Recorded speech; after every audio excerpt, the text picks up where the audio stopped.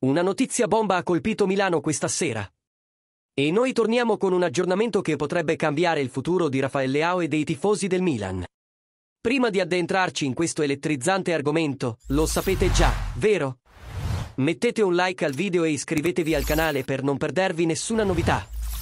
Quello che abbiamo oggi susciterà le emozioni di tutti i tifosi del Milan. Qualcosa di grosso sta accadendo dietro le quinte e ciò che accadrà potrebbe cambiare drasticamente il futuro del nostro attacco.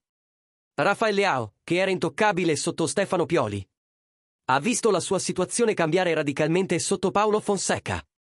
Secondo quanto riportato da asterisco Anto Vitiello asterisco dell'asterisco Corriere dello Sport asterisco, l'attaccante portoghese è deluso per il trattamento riservatogli di recente ha chiesto ai suoi agenti di esplorare le possibilità di trasferimento.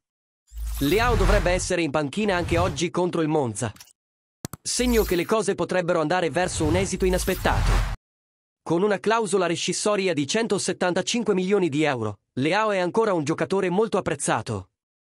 Ma l'incertezza sulla sua situazione ha fatto crollare il suo valore di mercato.